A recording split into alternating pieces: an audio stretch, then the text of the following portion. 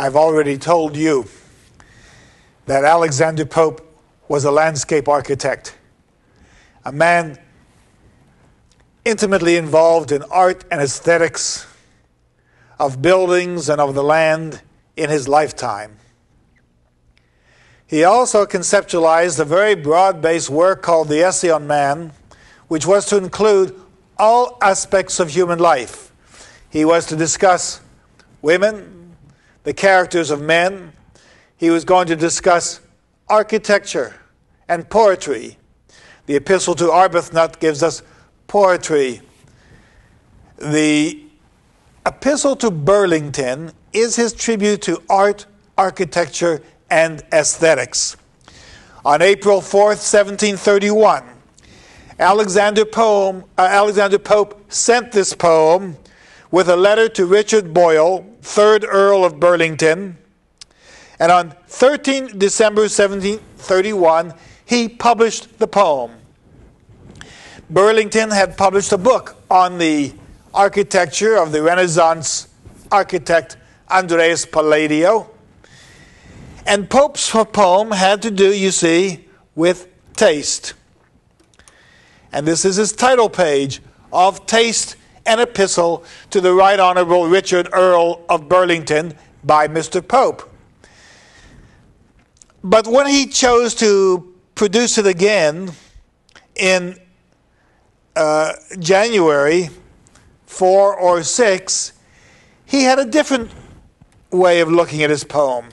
And the title page shows you that he's not dealing with off taste, but he's dealing with false taste. Now, sites alluded to in this poem are to be found in Norfolk, where we find Horace Walpole's Houghton, where we find Brydges Cannons, and also within that belt of Middlesex and Buckinghamshire, where the River Thames flows from London, past Kensington Palace, past Twickenham, where Pope's home was, over to Hampton Court, where the Queens live. This is a map of England near London. This is London. The Thames flows from London, the large city, heavily populated, through until it becomes a purling stream near Alexander Pope's home.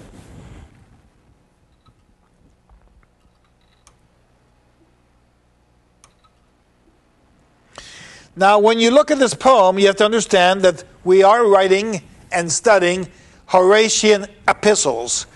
Pope considered the Essay on Man and all the subsequent works to be Horatian in nature. And one of the works that he draws from is Horace's Ad Numicium. This happens to be from a beautifully designed book by the Renaissance artist Aldus. And this particular poem, Ad Numicius, or To Numicius, is one source for Pope's attack in this poem on the vulgar rich. It's a wor- it is a work that Pope contemplated for many years. The epistle begins with an attack upon the love of material wealth and the ignorance of sublime reaches. He says, Admire we then what earth's low entrails hold. The 1738 imitation sustains Pope's attack against the ministry and against immoral power. The poem further states, ad numicius, that the ignorant and the vulgar rich must hire sycophants to praise their taste and support their excesses. In many instances, those hired to provide taste offer the only route that these men have to achieve understanding and virtue. Thomas Maresca, in a book called Pope's Horatian Poems, talks about Pope's religious protest. He says much of his poetry is an attack, a Christian homily against sin, against excesses, against the deadly sins. The other of Horace's works that Pope copies in this particular poem is to ad Fuscus Aristium. Aristius Fuscus. And this offers a sense of the peace and serenity in the country. It announces the virtues of the country, of the gardens, and in a positive manner, it provides a statement of moderation that we must learn from nature. Where the grass smells finer and shines more than African mosaics, says Horace in this poem. He asks this question in the poem Is the water purer that pounds its way through the pipes in the city than that which scampers and murmurs along our sloping streams? Pope's home at Twickenham had a grotto in a hillside underneath it, near uh, under the foundation, and he would sit in it and look over his gardens across the Thames, which at that point is a rather narrow, purling stream. Finally, Horace comments in these poems and in Aristus, uh, uh, Aristius Fuscus. He says, Shun bigness. Your humble estate may offer the chance to outpace kings and the friends of kings as you dance your way along life.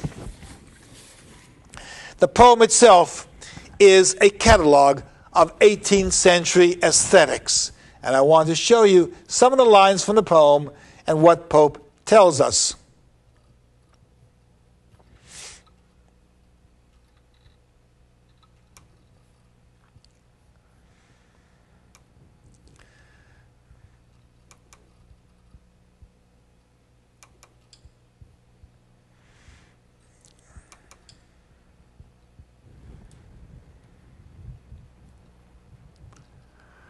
All right, we'll be there in just a minute.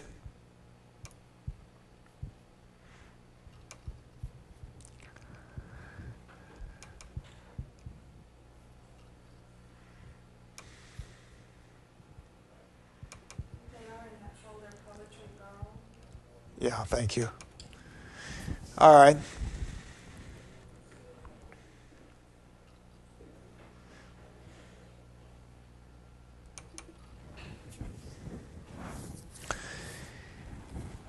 Pope begins the poem by saying, "Tis strange the miser should his cares employ to gain those riches he can ne'er enjoy. Is it less strange the prodigal should waste his wealth to purchase what he ne'er can taste?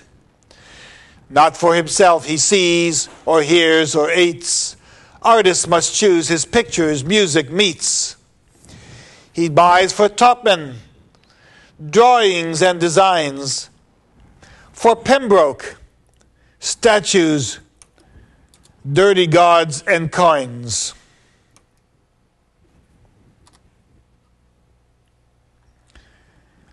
Rare monkish manuscripts for Hearne alone, and books for Mead, and butterflies for Sloane.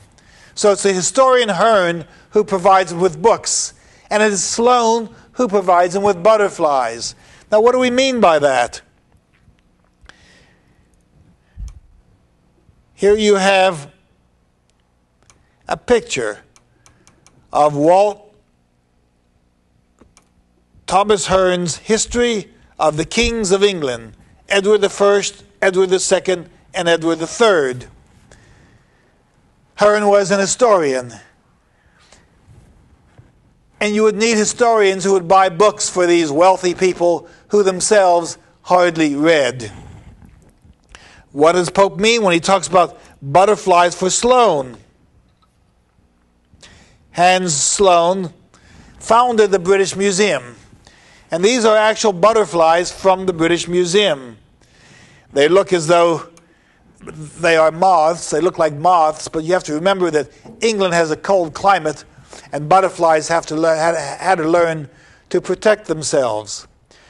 But if you went to the British Museum, you would find Sloane's butterflies there, as I had found them.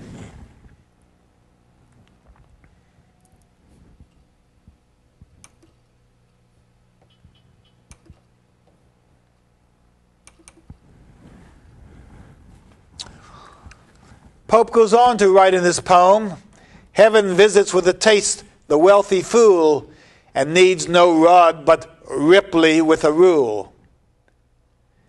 Now, what does that mean, Ripley with a rule? This is an attack on Robert Walpole, the Prime Minister of England, whose corruption allowed him to build a $2 million estate with public funds. Ripley was Walpole's architect. He says, See, sport of fate, to punish awkward pride, bids Bubo build and sends him such a guide, a standing sermon at each year's expense that never coxcomb reached magnificence. And here is Horace Walpole's home. What you see here are the stables and the main house and other stables. Now, notice it looks somewhat like our School of Architecture. The University of Houston School of Architecture is actually modeled after an 18th century office building uh, designed by a man by the name of Le Notre. But the design looks Palladian. Instead of domes on the top of our School of Architecture, we have a Greek lantern. And we don't have statues of heroic figures there. But I suppose if we did place statues of heroic figures on top of these buildings, as Palladio did and as architects did in the 18th century, we would probably have the chancellor and the quarterback of the football team, people who perform heroically for the University of Houston. Now, notice this home that Walpole had. It's a very large home. And this is his estate. Now, if you look at this little item here, three little boxes sort of, that is his home, the one I just showed you. The rest are lakes, agricultural gardens, orangeries where oranges were grown. It's a magnificent estate. The one time someone described it as a Brobdingnagian estate.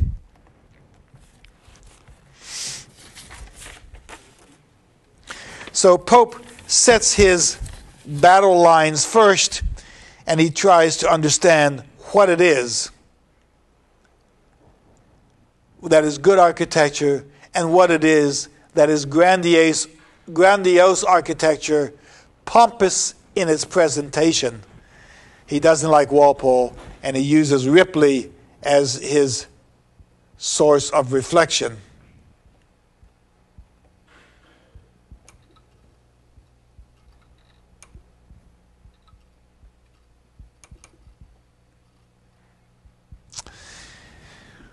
Pope writes to Burlington You show us Rome was glorious, not profuse, and pompous buildings once were things of use. Castles you built for kings and queens, fine pieces of architecture you built for churches and fine office buildings. Very much unlike Saddam Hussein in Iraq who built multiple palaces to glorify his own being. Pope would have disdained and written adversarial and satirical poetry about such palaces. He says, Yet shall my Lord, your just, your noble rules, fill half the land with imitating fools, who random drawings from your sheets shall take and of one beauty many blunders make. So while you're a good architect, other architects imitating you might not prove themselves as good as you are. He says, Some will turn arcs of triumph to a garden gate, reverse your ornaments, and hang them all on some patched dog hole etched with ends of wall. Then they will clap four slices of pie pilaster on it that laced with bits of rustic makes a front. He goes on at the bottom to say, These poets, conscious they act a true, but, but most people, proud people, good architects, are conscious to act a true Palladian part. And if they starve, they starve by rules of art. So bad poets will make themselves rich. I mean, bad architects will make themselves rich. Good architects may not get as many contracts, but they will maintain their integrity.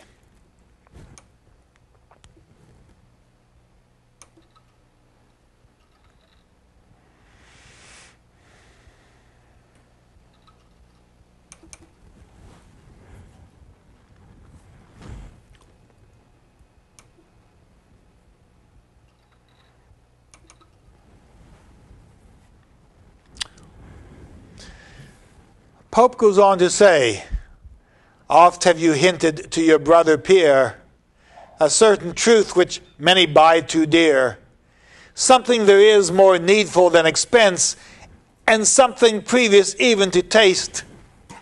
Tis sense. Good sense, which only is the gift of heaven, and though no science fairly worth the seven. If you're an artist, if you're an architect, if you're a landscape architect, you have to do things with good sense in mind. You have to follow patterns that are understandable. You can't be you can't use flourishes and you can't use unnecessary decoration. He says you must have a light which in yourself you must perceive. And then he says, Jones and Le Notre have it not to give. Now remember I told you about the Caesura? Does Jones like does Pope like Jones and Le Notre? If he says they have genius, they have a light, the poem would read this way A light which in yourself you must perceive, Jones and Le Notre have it not to give. They have genius. You can't transfer genius to people. But if you don't like Jones and Le Notre, you will write a light which in yourself you must perceive, Jones and Le Notre have it not. And that's where the Caesura goes at the not, not to give. Well, the truth of the matter is that Pope liked Inigo Jones, the architect, and he liked Le Notre, who designed the Garden of Versailles. And this gives you some idea of the types of gardens that Pope liked. First of all, the designs of Inigo Jones were published during Pope's lifetime. And here are the gardens of Versailles. Notice the various patterns. Notice the trees planted in a quadrate here, they're square. Here are trees planted in triangles, or it looks like triangles. Actually, you have four trees with a tree in the middle. That's called a quincunx. We're going to talk about quincunxes in just a few moments.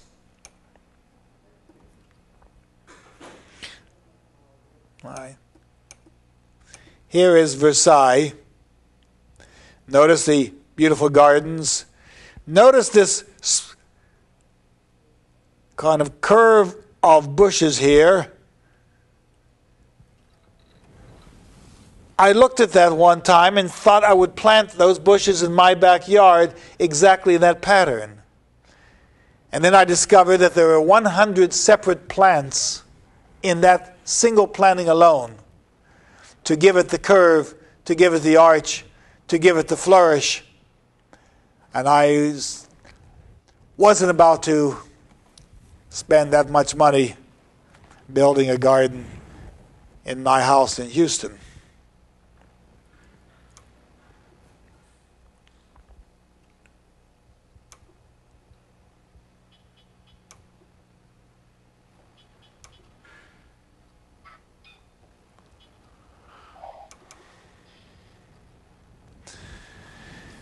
Pope writes in this poem Behold Villario's ten years' toil complete. His quincunx darkens, his espaliers meet. Now, I just mentioned to you that a quincunx is a set of trees that are planted in a quadrate, four in each corner and one in the middle, so that when these trees grew up, you would have a lot of shade. Plus, the five trees together gave you geometrical patterns much more interesting than planting in a quadrate. The idea of the quincunx actually came from the Roman army. When you had skilled Roman soldiers who fought in a quincunx, you would have four soldiers at each corner of a site and a spe- an especially skillful soldier in the middle, so that when the enemy came toward them, the four at the corners could ward off the enemy, and the one in the middle, moving in as many directions as you needed to do, would catch any, any numbers of the enemy who might come into the quadrate.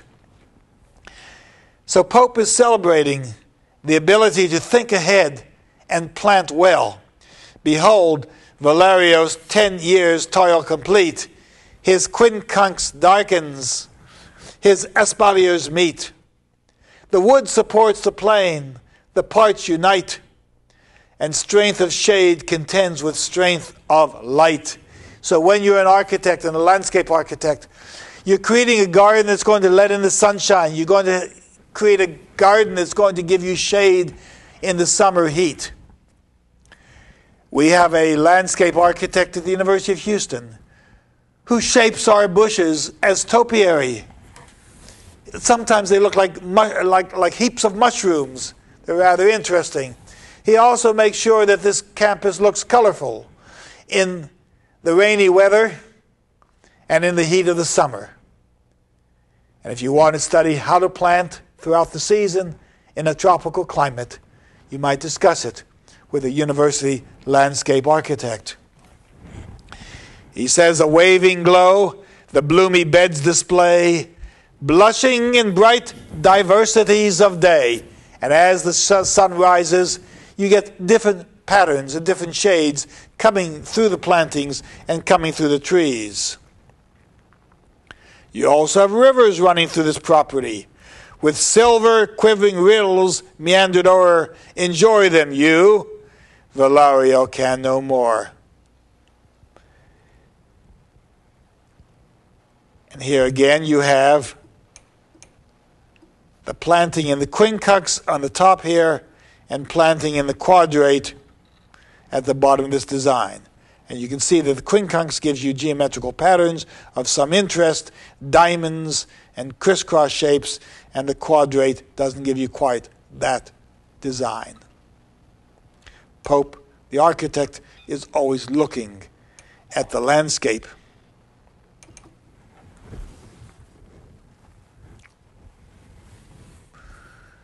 Pope talks about how you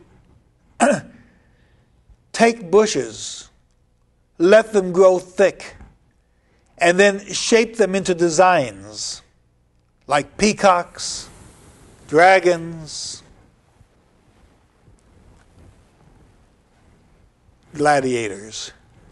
Here's what he says in this poem The suffering eye inverted nature sees, trees cut to statues, statues thick as trees. He doesn't like as much artificial material in these gardens as others might like. With here a fountain never to be played, and there a summer house that knows no shade. If you have a fountain on campus, let the water flow. But if you build a fountain and the piping is bad and it can flow, all you have is an empty piece of metal standing on the landscape. With here a fountain never to be played, and there a summer house that knows no shade. Some people just don't plant well. Here, amphitrite sails through myrtle bowers. There gladiators fight or die in flowers. This is the topiary, the design. Unwatered, see the drooping sea house mourn, and swallows roast in Nilus's dusty urn. Classical imagery. Well, here's a garden from England, modern England. And notice the bushes shaped here. Over here you have a peacock design. And here you have more of a block, perhaps a centaur image, but no gladiators at this particular spot.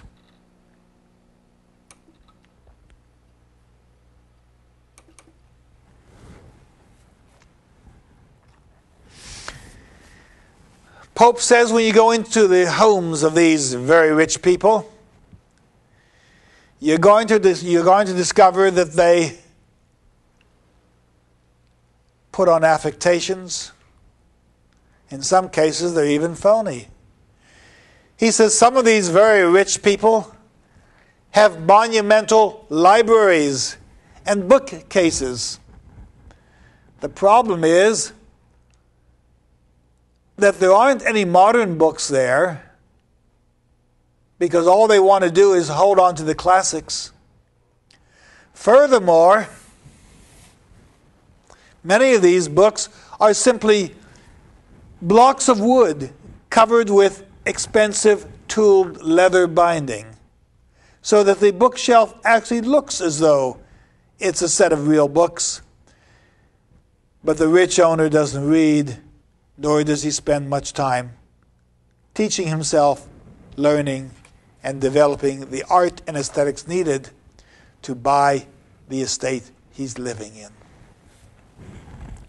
Here's from line here, here are lines 127 to 140 in the Epistle to Burlington. My Lord advances with majestic mien, smit with a mighty pleasure to be seen. All he wants to do is show things off and have people admire his expensive taste. But soft by regular approach, not yet first to the length of yon hot terrace sweat. You have to go a long way to get to his house. You're even sweating when you get there. And when up ten steep slopes you've dragged your thighs, just at his study door, he'll bless your eyes. What are you going to see at his study, having walked up these long terraces to get to his home and to enter his study?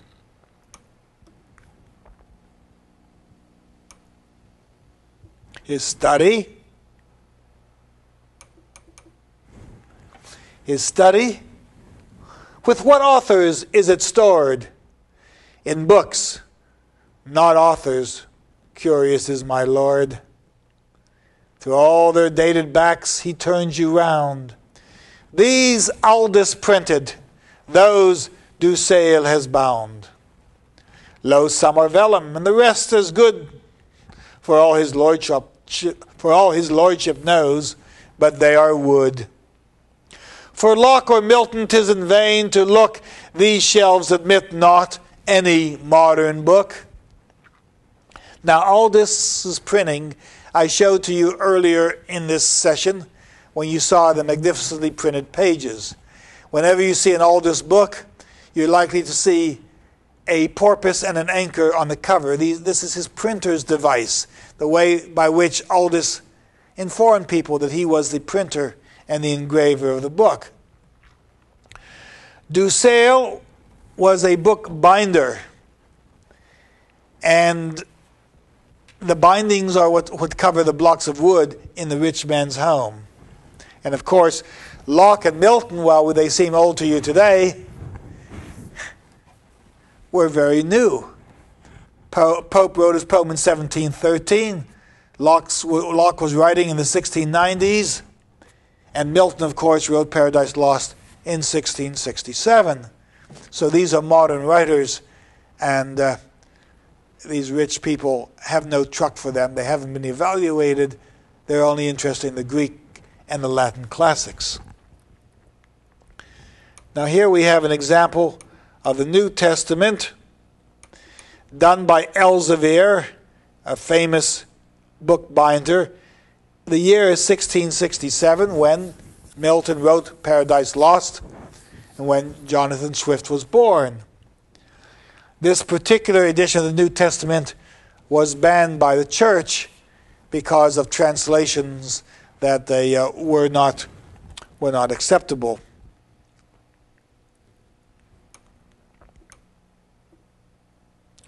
Here's an example of fine binding. Notice that the leather is brought around to the back of the front cover and tooled in gold. So someone has taken a special tool and drawn these flowers into it and then pressed gold leaf into the area. The page itself is an end page, or these are end sheets. This is a sheet that is pasted to the back of the book or to the cover of the book and then to the pages of the book so that they adhere together. Now, marbleizing is a very, very expensive art. What the marbleizer did, does is take a tank of oils of different colors and start it spinning. And then he drops a sheet of paper into it. And the paper is covered by these oils in whatever configuration evolves. Then the paper is taken out with a unique design on it that's never repeated in any other end sheet. Today, of course, our end sheets are printed 100,000 at a time on a printing press, and every end sheet is exactly the same. But these are the kinds of fine books that you find in our special collections room in the second floor of the library and in rare books rare book libraries throughout the world. Some of you may be lucky enough to have old books at home with marbleized end sheets and tooled leather binding.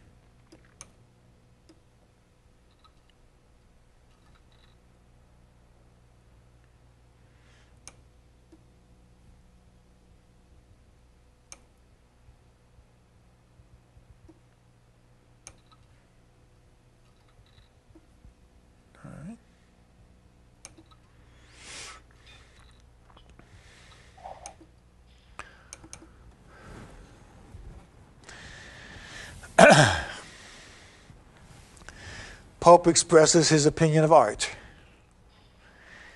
And he talks about the types of paintings that are being put into very fine homes. He says, And now the chapel's silver bell you hear, that summons you all to the pride of prayer. Now, in these homes of these fabulously wealthy people, they have chapels where they can go and pray themselves instead of going to church. And now the chapel's silver bell you hear that summons you all, that summons you to all the pride of prayer. How else can prayer be prideful unless people are showing off as they pray rather than praying earnestly, humbly, and keeping to themselves? Light quirks of music, broken and uneven, make the soul dance upon a jig to heaven. On painted ceilings you devoutly stare, where sprawl the saints of Verrio or Laguerre. On gilded clouds in fair expansion lie, and bring all paradise before your eye. I'll read that one more time. On painted ceilings you devoutly stare, where sprawl the saints of Verrio or Laguerre. On gilded clouds in fair expansion lie, and bring all paradise before your eye. These are the kinds of paintings that Pope did not like.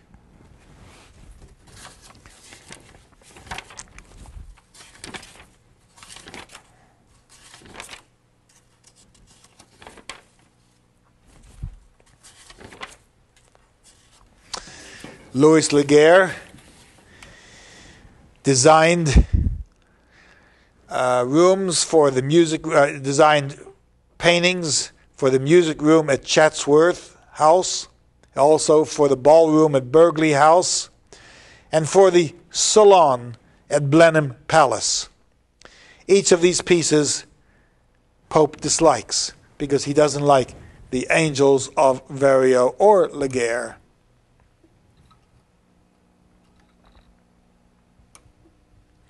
These become paintings on the ceiling at Chatsworth House. Mythical figures, angels with wings. See the angel over here?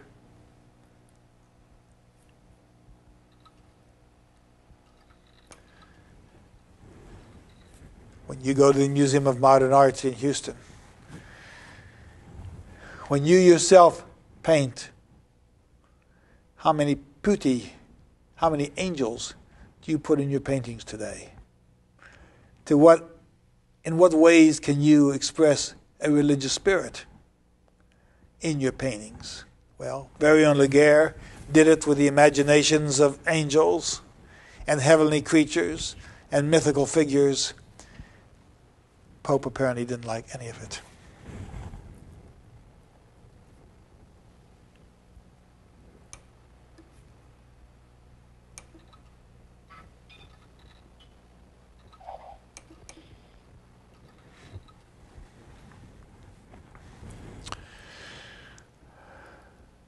Pope writes, But hark, the chiming clocks to dinner call, a hundred footsteps scrape the marble hall. The rich buffet, well colored serpents grace, and gaping tritons spew to wash your face. Now, in order to understand what he's really talking about here, you've got to understand that he was referring to the home of the Duke of Chandos, a place called Canons that had a hundred servants in it and more than 75 rooms. Chandos was such, had such an elaborate home at Canons that one staircase alone cost almost 1,200 pounds to build with special wood, paintings of Laguerre on the wall, expensive candelabras hanging from the ceiling. The paintings alone cost around 754 pounds. The lantern itself cost close to 60 or 70. Remember, a parish priest was getting 50 pounds a year. A poor family could live on 5 to 15 pounds a year in England. The Archbishop of Canterbury was earning a thousand pounds a year. And here was the Duke of Chandos with 72 rooms and multiple staircases, spending as much as $1,200 on but one staircase out of 72 items he was building. He also had 50 servants. And therefore, you get a hundred footsteps scrape the marble hall. Those are Chandos's 50 servants. Let me see if I can show you a picture of, of uh, Chandos's home. Give me one minute here to call it up.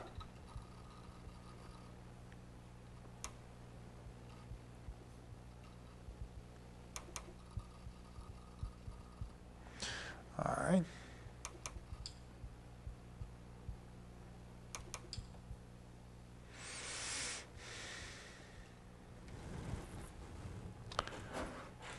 Okay.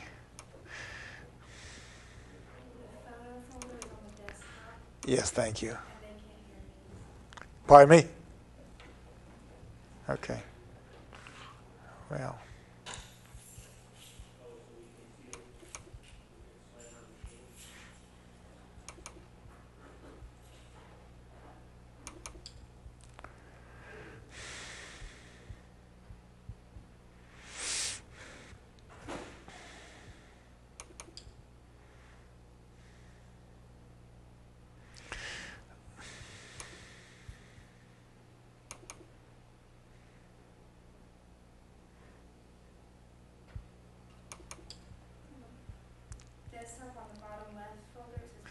Oh, yes. Okay. Thank you. All right. I'm sorry. Uh, here are some examples of canons. This is the Chandos' home. Notice again the Palladian architecture. Notice that the arched doorway resembles our school of architecture. Notice the rounded windows, the roseate windows and notice the statues on the pedestals.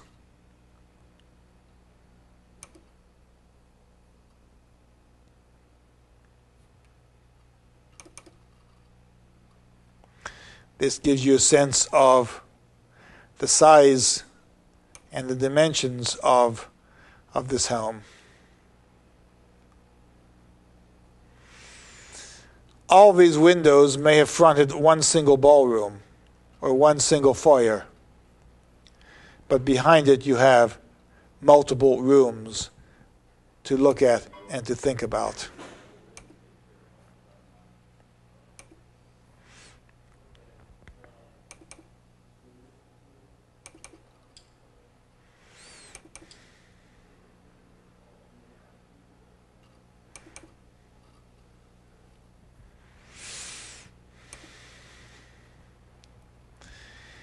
Let's go back to this, these lines, lines 151 to 54.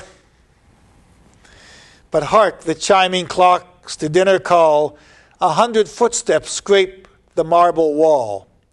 Now look what Pope does here. He mentions the rich buffet, well colored serpent's grace, and gaping triton spew to wash your face. Now, what is he talking about? Well, at Harley's home in Buckinghamshire, we find this particular table. Notice the tritons on the table.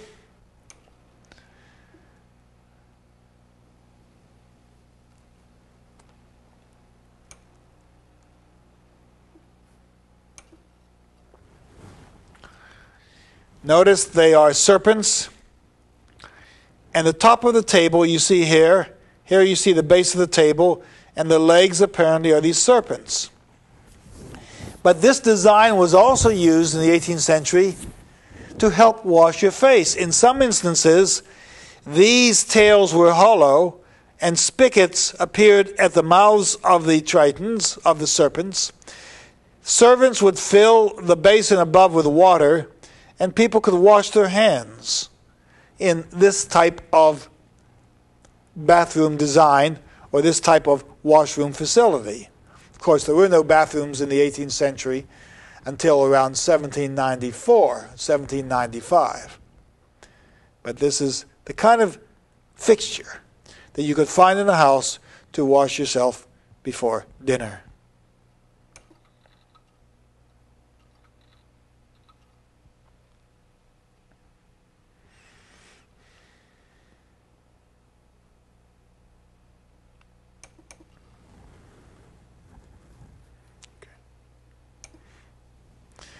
Right, now I'm looking for a few other designs. How does Pope go about ending this poem? What type of philosophy does he give us?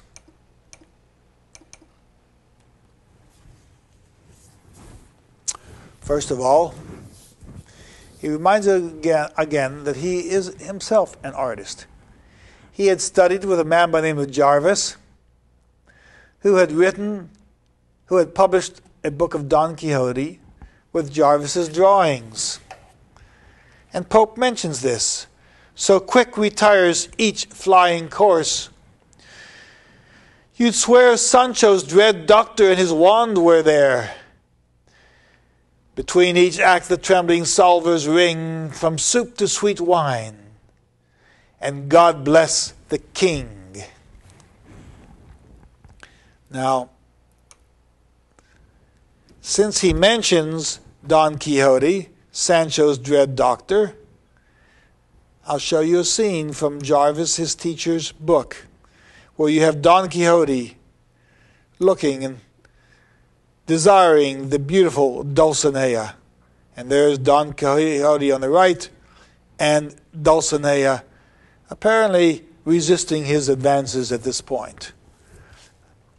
Jarvis's drawings and Jarvis's engravings were celebrated portraits of Don Quixote. And the truth of the matter is that many of the novels in the 18th century are really considered Quixotic in nature, a set of episodes, each of which is a separate episode, but leading finally to the resolution of a peaceful plot. Let's move on.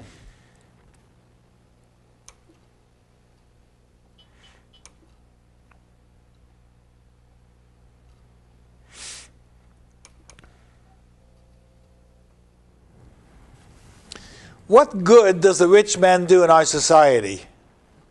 How, do his, how does his money benefit others other than himself and his family?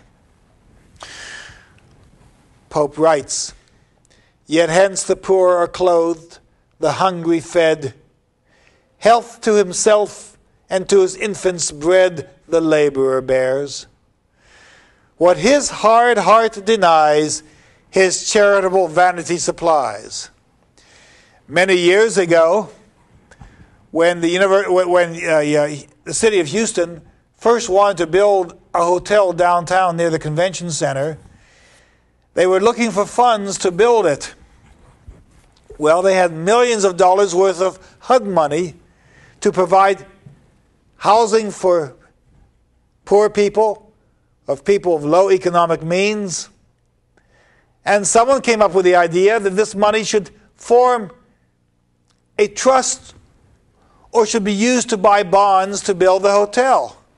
You could justify it, they said, because what you did was not give people homes or not pay the rent, but instead, by building the hotel, you would provide them jobs. And then they could go on with earned income to buy their own homes and to effect their own living. Pope is being sarcastic here. And anyone who believed that you should use HUD funds to build a high level hotel, of course, would be considered foolish and could be satirized by poets in the present day. Yet hence the poor are clothed, the hungry fed, health to himself and to his infants bread the laborer bears. What his hard heart denies, his charitable vanity supplies. Pope goes on to talk about the kinds of architecture he has been celebrating in the Epistle to Burlington.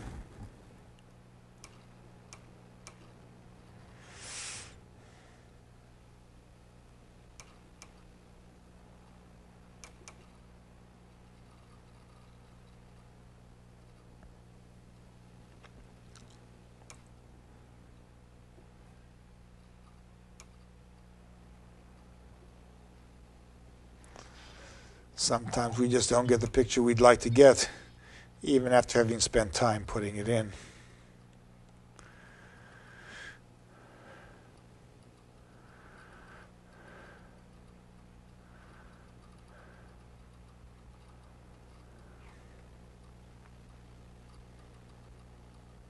Okay, here we are.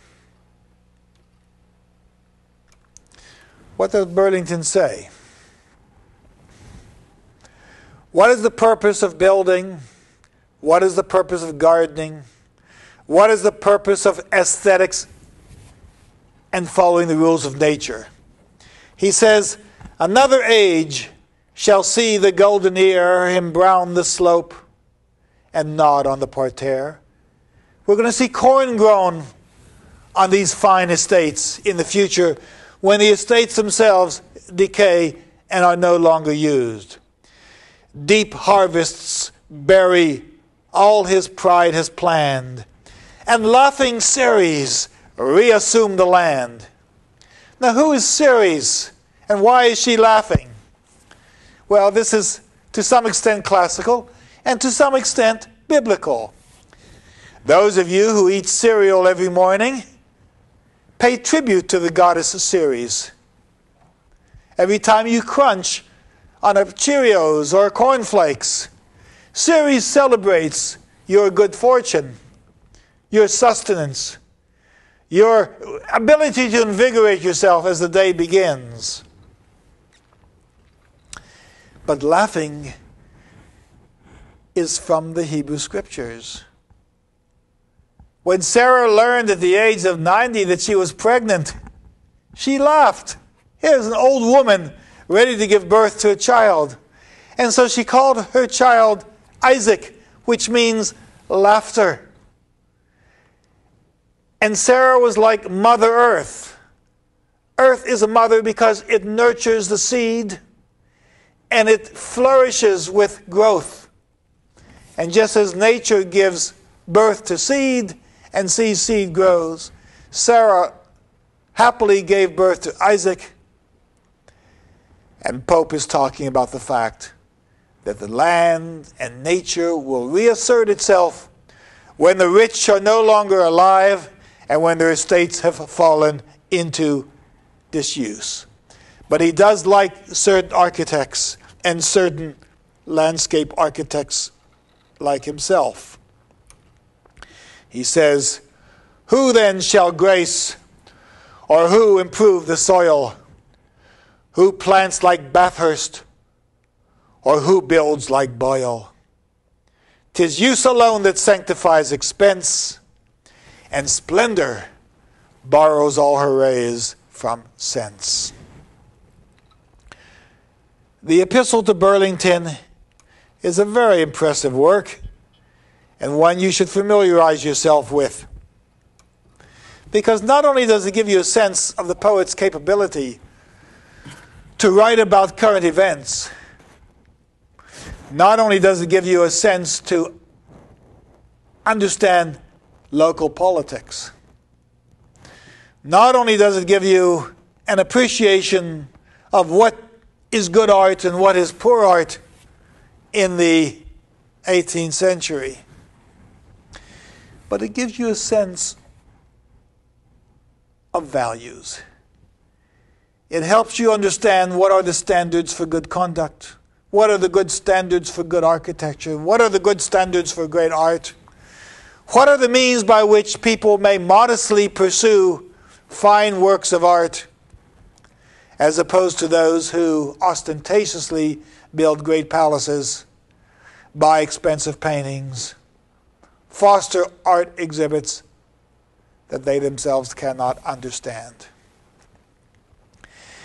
If you walk about the University of Houston campus, you understand that every time we put up a building, we are obliged to spend 1% of the building's worth in new artwork on campus. Look about this campus and see what kind of artwork we have. You'll enjoy Walking Men, the large stainless steel architect, uh, uh, creatures walking away from the art building and the communications building. The new architecture in front of the wellness center. And see how much of it, how much of it you appreciate, and see how much of it you think is in good taste and how much of it contributes to the milieu and climate of your life at the University of Houston. I would like to now turn to a poem that Pope wrote in despair. Pope, at one point in his life, became irritated, finally, with all those people who had criticized him. He was a very successful poet. He was a great poet in his time. He earned a great deal of money as a poet. But there were always critics who assailed him. Among them, Lewis Theobald, who criticized his edition of Shakespeare and pointed out many faults in it that I think I've already mentioned to you. Uh, the fact that Pope took Theobald's comments, and when he published a second edition, incorporated most of them into the new edition, changing them.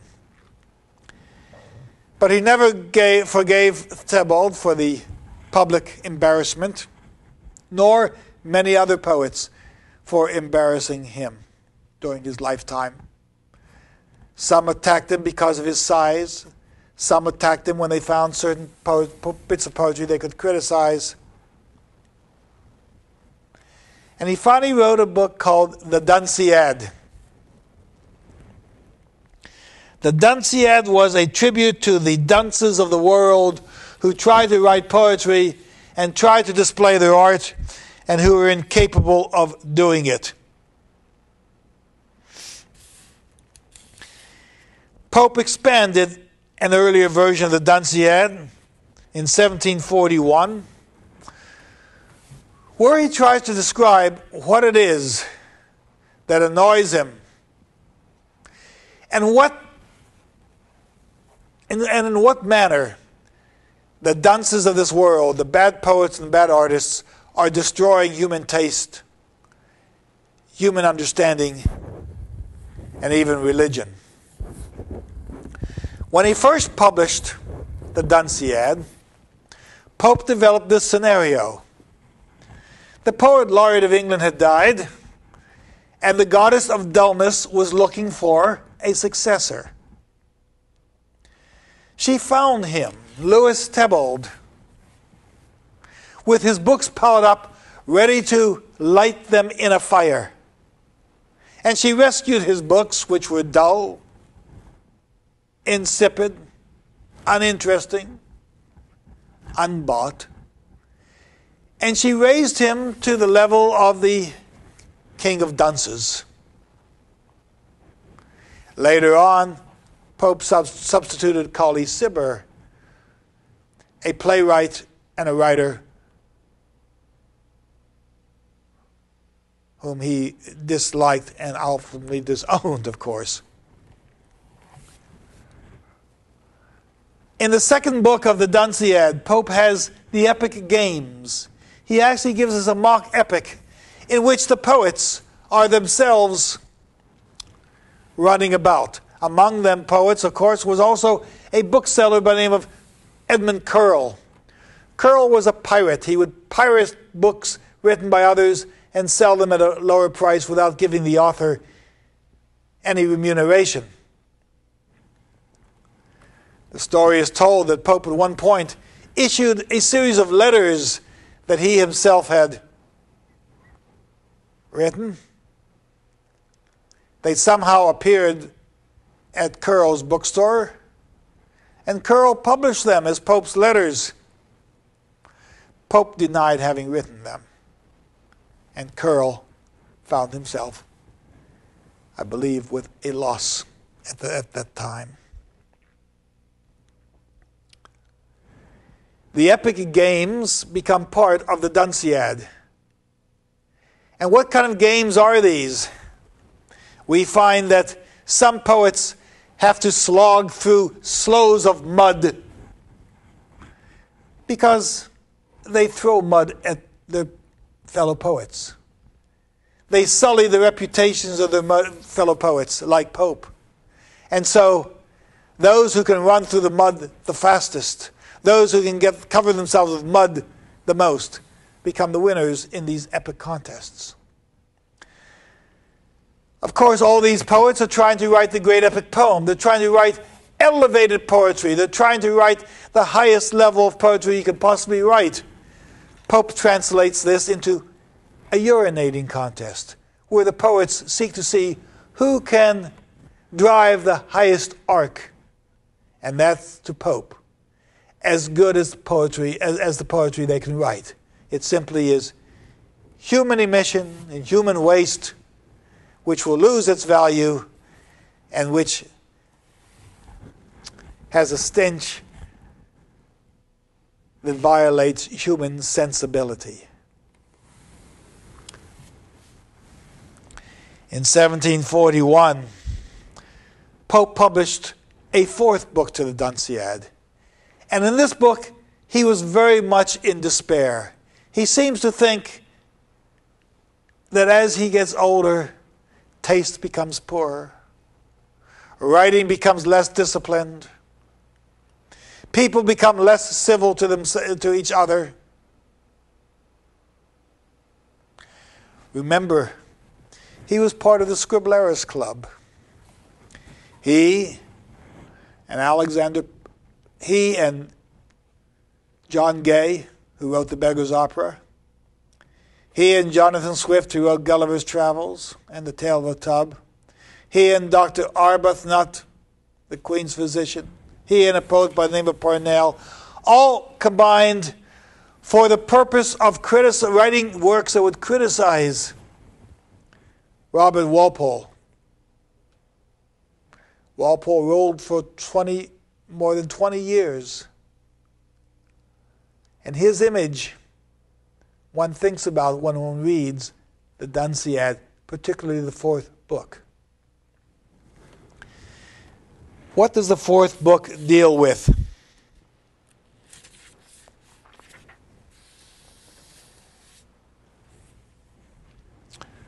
Nations are going down, says Pope at line 72. And now had fame's posterior trumpet blown, and all the nations summoned to the throne. The young, the old, who feel her inward sway, one instinct seizes and transports away. None need a guide. By sure attractions led and strong impulse, gravity of head. There's no thinking here. It's whatever impulse people have to write, whatever impulse people have to publish. Line 115, Pope says, When dullness, when dullness, the goddess of dullness, when dullness smiling, thus revive the wits, but murder first and mince them all to bits. They plagiarize. Look at lines 124. Leave not a foot of verse, a foot of stone, a page, a grave that they can call their own. This is the goddess of dullness. But spread, my son, she says, your glory thin or thick on passive paper or on solid brick. If you are going to write, spread your dullness throughout the land. The goddess of dullness is urging her wits, her poets, her novelists, her writers, her statesmen, to spread the word. As we move to the end of the poem, turn to line, page five, uh, page seven sixty two, line five ninety five, where Pope says the world is going haywire. He says dullness is proud to add one monarch more and princes are but things born for first ministers, as slaves for kings. But dullness, dullness reigns to make one mighty Dunciad of the land. Now, what kind of land are we now experiencing? What kind of country are we now experiencing? More she had spoke but yawned. This is the God of dullness.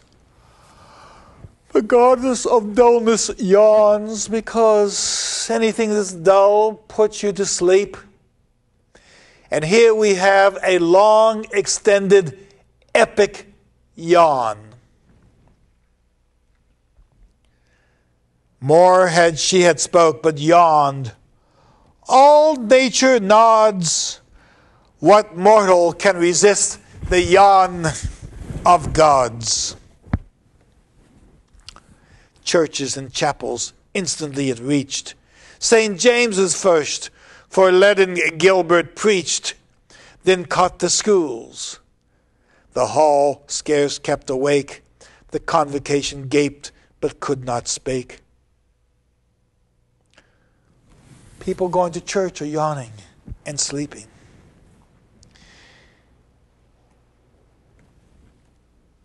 People going to the synod are sleeping.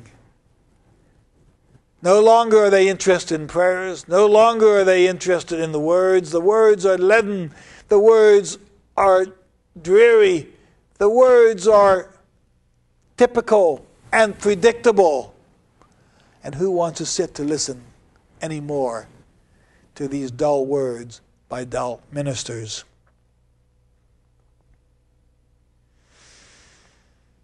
Lost was the nation's sense, says Pope, nor could be found while the long solemn unison went round. Wide and more wide it spread o'er all the realm. Even Palinurus nodded at the helm. Now, the world has gotten so bad that Palinurus, who stayed awake even when Ulysses' men were drowsy, affected by poppies, Palinurus, who guided the ship of state when others were drowsy and unable to help.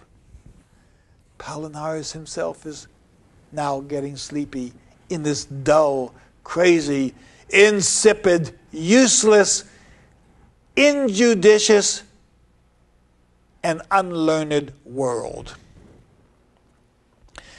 The vapor mild o'er each committee crept, unfinished treaties in each office slept. No one's signing treaties.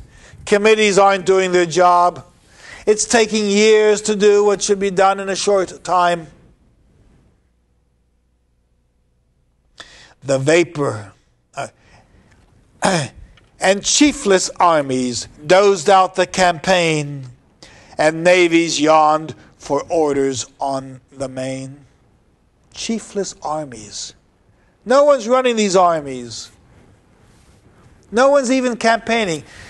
Remember, Tolstoy gives us a bitter passage such as this in War and Peace, where when planning the battle, the generals are all sleeping because they know no matter what happens, the battle plan will never work out the way they hoped it would. Instead, they leave the planning up to lesser officers, knowing that whatever they plan will be skewed by events of war.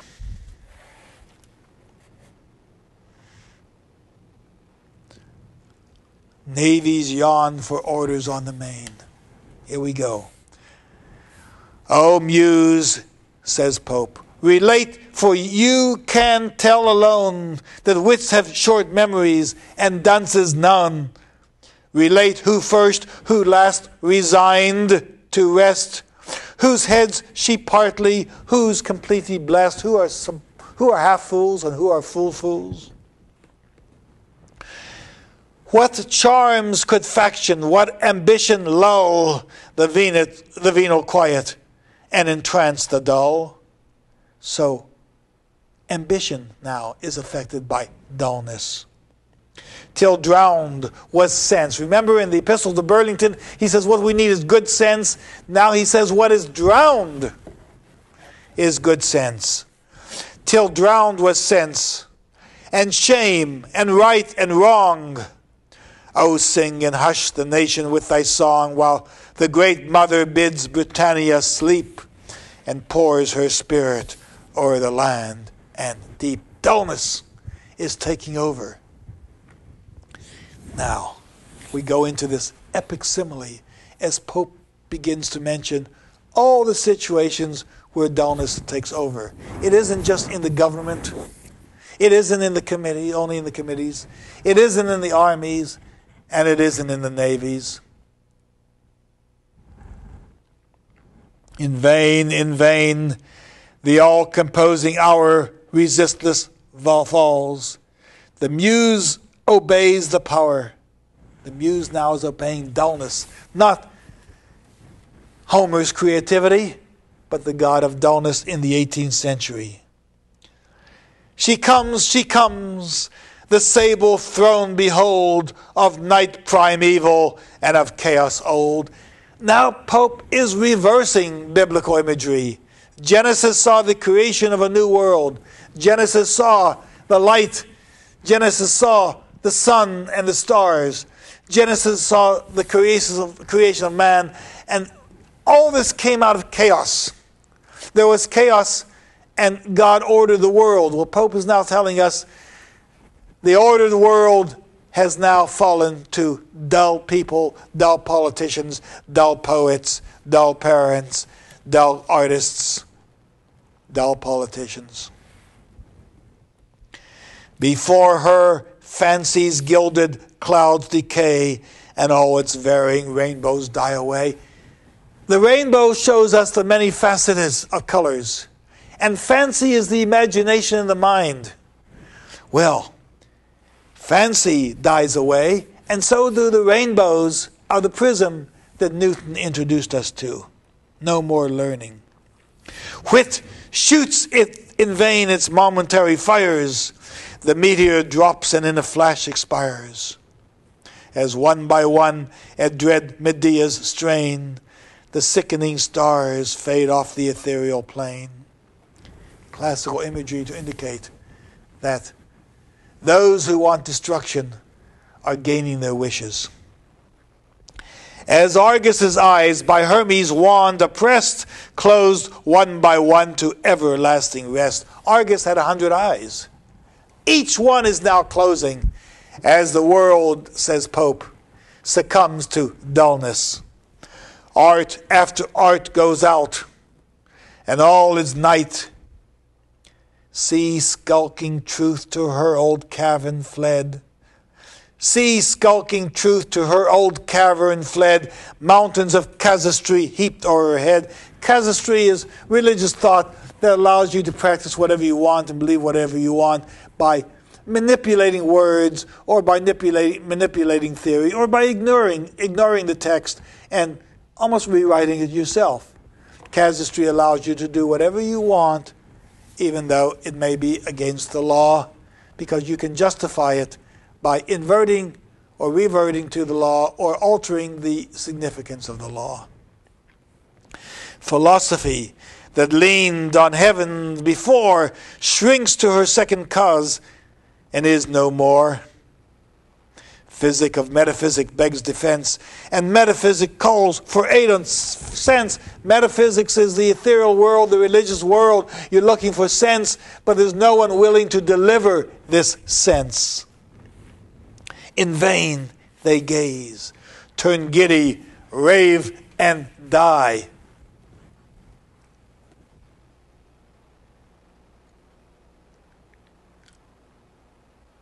Where do we see dullness creeping in? Certainly in television. Certainly in television news, which is more fluff than it is news. You get two or three minutes of international news, and then you go on to a half a dozen burglaries and a half a dozen police shoot, I mean, a half a dozen shootings that the police must follow up on, and then a half a dozen uh, people who are burning down homes or hurting, their, abusing their wives. That's what the news is all about. Very little education. Just a lot of people engaged in terribly dull activity, proving themselves inexorably dull. Pope goes on. Religion, blushing, veils her sacred fires. Religion is now shamed Gibbon in the decline and fall of the Roman Empire was later say religion came down from heaven, a beautiful, shining woman to be turned into a prostitute by the people of the world. Pope says, religion blushing veils her sacred fires, and unawares morality expires. No public flame nor private dares to shine. There is no imagination anymore nor human spark is left, nor glimpse divine. There's no genius celebrating itself in the world, as we saw in the Epistle to Burlington with Bathurst and Boyle. Pope concludes by saying, Lo, thy dread empire chaos is restored. Light dies before thy uncreating word. Thy uncreating word. Remember, the word first gave us light. Let there be light. Now, we have no word, and we have no light. Thy hand, great anarch, referring to Donis, says Pope, lets the curtain fall, and universal darkness buries all. That is, we're now back to the reversal of the biblical coda. Where we had darkness and light separated to create the world, now we revert to darkness, dullness, and Pope's disappointment with his England, with his fellow poets, and perhaps at this point with his life. Thank you.